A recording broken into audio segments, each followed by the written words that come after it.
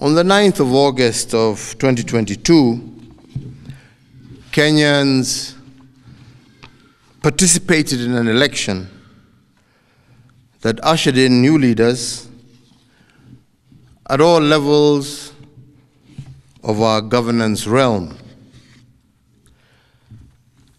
Uh, Following a dispute in the presidential election, a petition was filed in our Supreme Court for determination of validity of the results,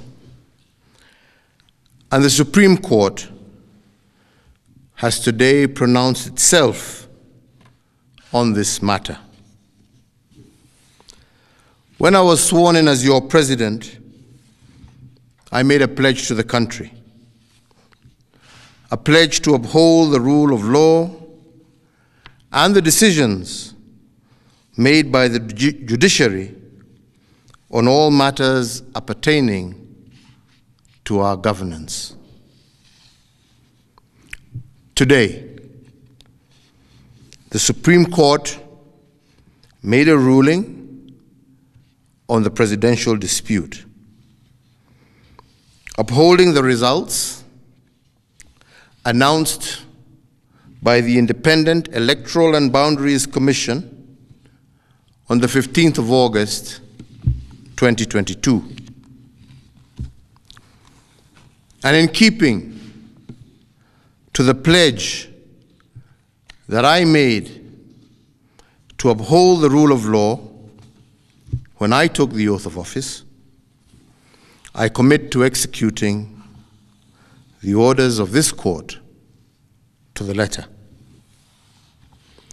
The process of handing over is in progress through the Assumption of Office Committee, which actually has already begun its work as of August 10th, 2022.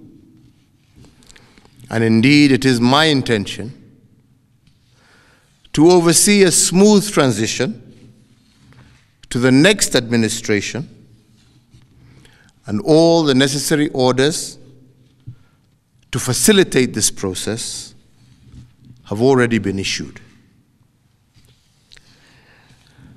And because democracy is a work in progress, I urge the country to respect the institutions that midwife our new leaders. And in doing so, I also urge citizens to constantly put them under scrutiny, for this is the civic duty of every single Kenyan.